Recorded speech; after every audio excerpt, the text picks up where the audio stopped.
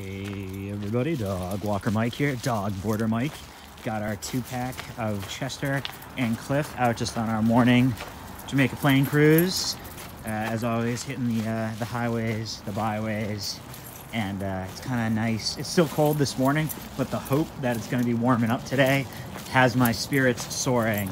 Yeah, Chester a little sad. A guy would just be so happy to sit in a snowbank for like I mean, basically all day if I never made him come in.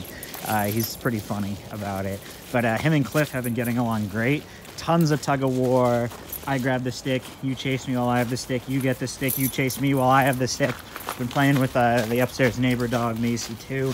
Uh, so that's going great. Did have to separate them during meal time, uh, which is mostly a Cliff issue. It's not really a big deal, but the last time Cliff came over didn't have an issue, but this time we got uh, Chester's like kind of like a young male dog in his prime, so I think there was just a little bit more uh, defensiveness regarding uh, mealtime, but not a big deal at all there. Uh, and I don't know, it's just awesome two dogs to have.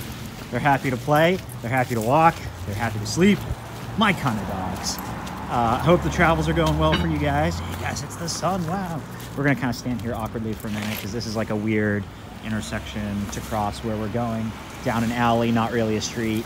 Um, let's see. I complained to Cliff's dad. My legs were dead because I went skiing all weekend. I think I'm finally recovered, though still wearing multiple braces. But uh, just not as young as I used to be, Cliff, you know?